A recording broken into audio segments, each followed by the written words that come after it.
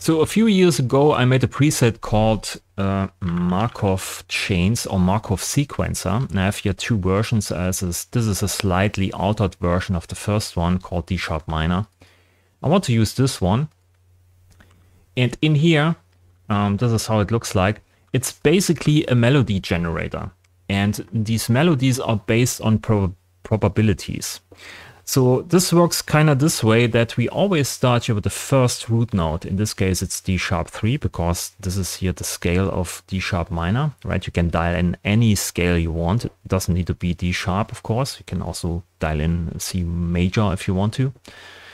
So it starts always here with the root note D sharp. And then based on this graph here, we go to the next note. So these sliders here are basically probability sliders. So the probability is pretty high uh, for the next node to be here the fourth, the fourth note or the fifth, right? So when we play this note, it goes probably to the fourth or the fifth here.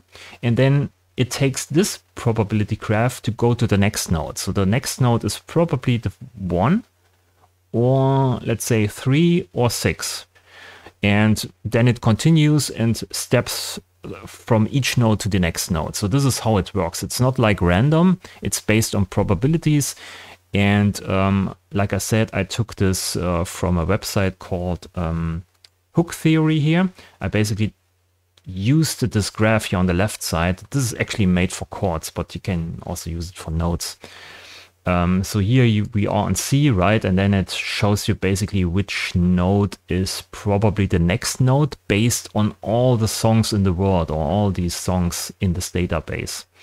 So a lot of pop songs and so on, right? So I took this uh, uh, information from here and uh, coded it in this graph here. So it's based on that. It's not just random, right? It's not random uh, sliders here. Um, and this generates basically nodes. And we can now um, output here, or let's use actually an oscilloscope. So this is the trigger here. I want to modify the trigger because you can see here it's just a short burst of a trigger and I want to have sustained longer nodes, right? So I switch this here to trigger and I use a length and um, make this trigger pretty short. And then I just reverse the signal here. So now we have long sustained nodes and just short bursts of zero values. And we just use this here as a trigger output. So with this, we can then maybe insert this here in a synthesizer. And you don't need to use the polymer uh, device here. You can also use any VST. And we can use sustain here, of course, then. So we have now sustained notes with this. And it goes from one node to the other node. It kind of plays a melody. So this is a bit boring. So we want to use here another note grid.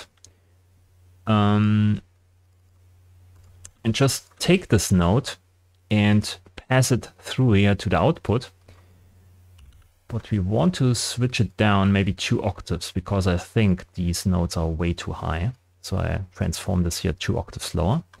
And then I want to generate a second node. And the second node is uh, just seven semitones higher, which is the fifth.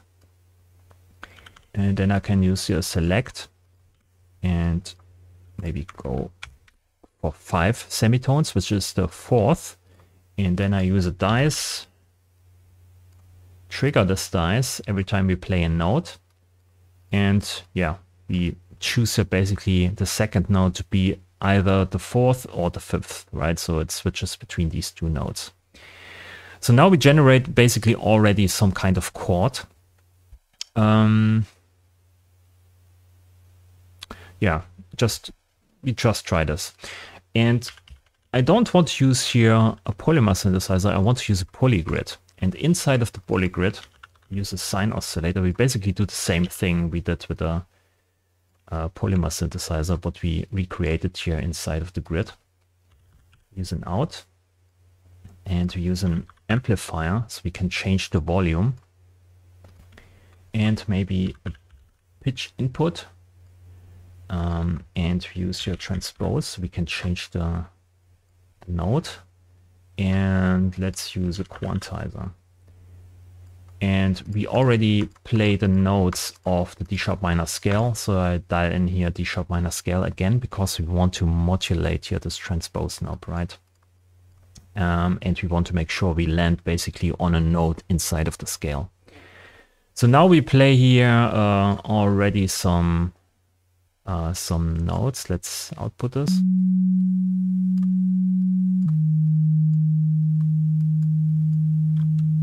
Okay. So this is um, also a bit boring. So now we uh, introduce voice stacking. So we want to create this uh, patch three times. And we use the voice stack modulator to bring in some differences between these voice stacks. And I just change here basically transpose. So each voice stack plays the sine, but with a different pitch. and the upper notes are way too high in volume for my taste. So I use also voice stack here to bring down the volume of the upper harmonics.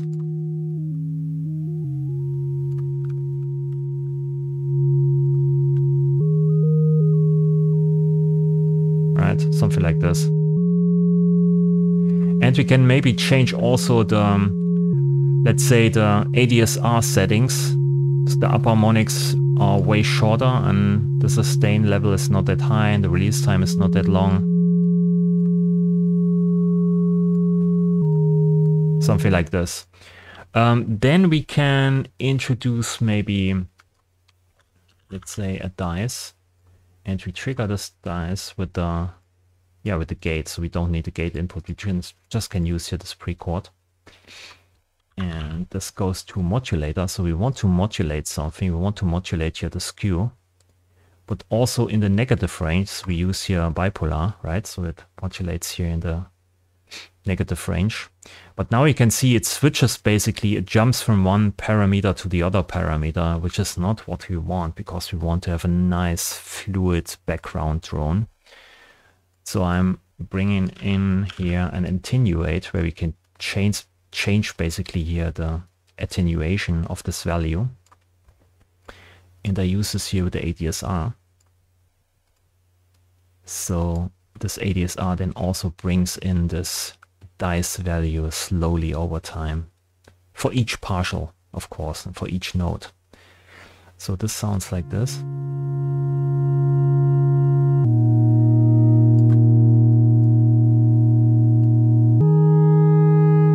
And maybe we can also change here a bit uh, the tuning for the left and the right channel.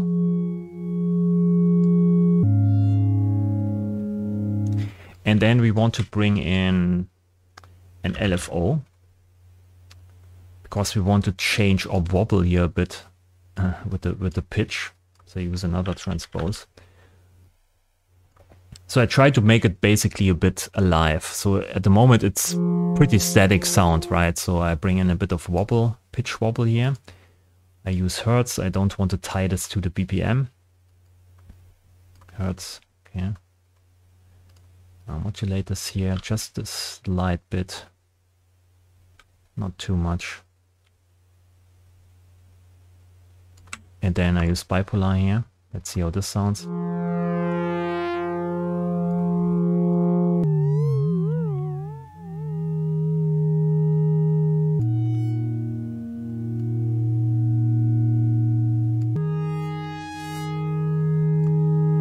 So also here we use basically the voice stack modulator to change the uh, LFO speed setting for each stack.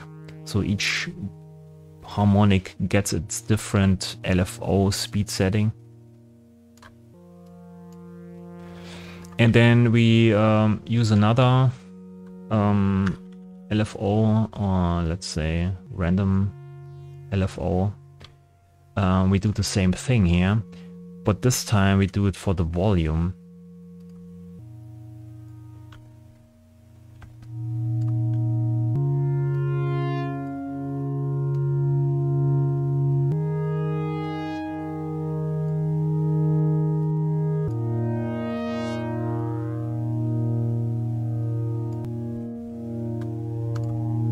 And then here the same things we change each stack gets a different LFO speed. So now it sounds more like alive, in my opinion. And then we put on this, we, let's say some reverb. So we take here a combination of reverbs, convolution reverb, maybe chorus in there. Delay plus with a nice diffusion algorithm here, space one.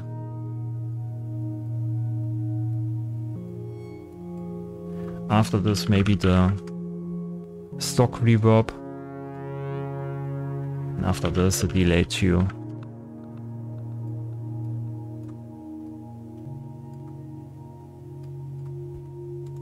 Maybe don't modulate this too much here.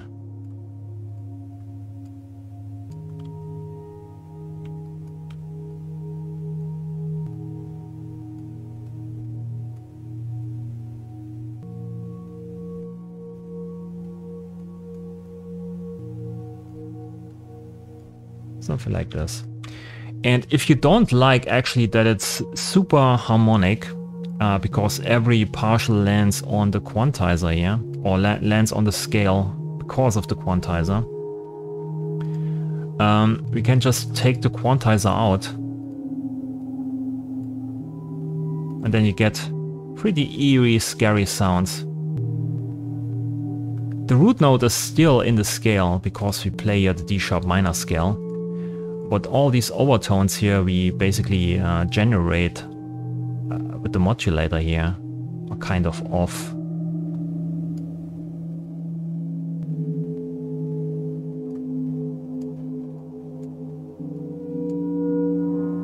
So the only sound in this uh, patch here is the root note that is in the scale, but all the overtones are off. And if we take it as modulator and amplify this, so we bring down the initial volume, which is more or less the root note, and we amplify all the overtones, which are disharmonic, it gets more and more scary.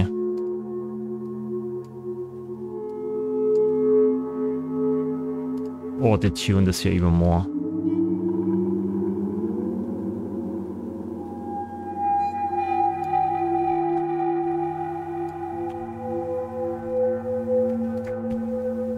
So if you don't like the harmonic nature of this patch, you can just take the pitch quantizer out.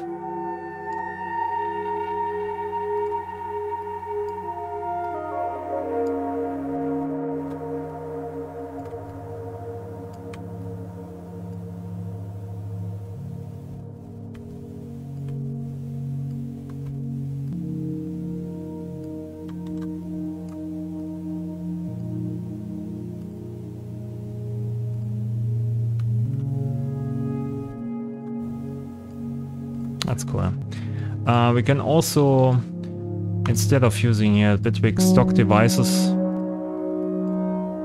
can just take here, let's say Supermassive.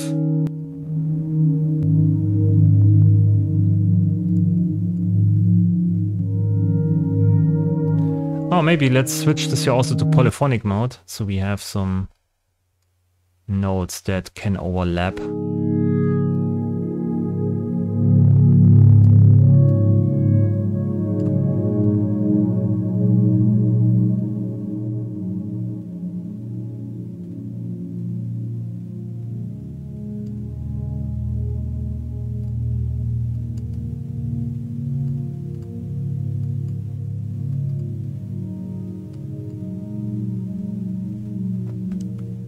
Something like this.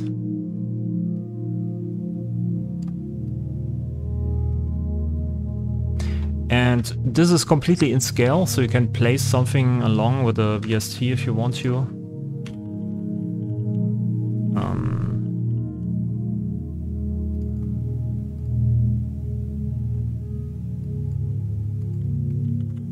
let's use another supermassive here.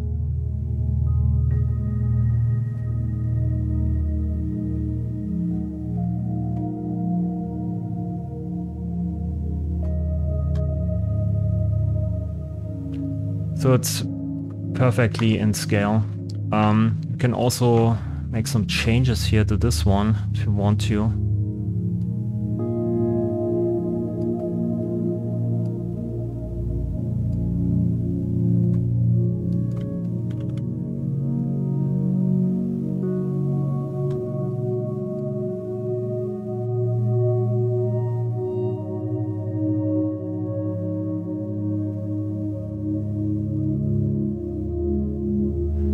It depends on your taste.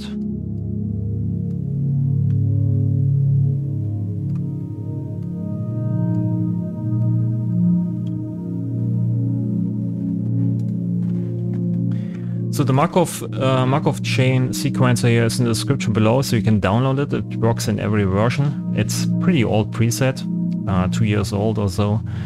And um, I also put here this project on my Patreon if you want to download this and yeah, want to give you some inspiration how to use basically this preset and how to create drone sounds or nice backdrops for your ambient pieces. Um, I would, in my opinion, it's pretty nice to play along maybe with an analog synthesizer or with a piano on top or something like this. Um, yeah, that's how I would do it. Um, thanks for watching. Leave a like if you liked the video. Subscribe to the channel. Thanks for watching. See you next time. Bye.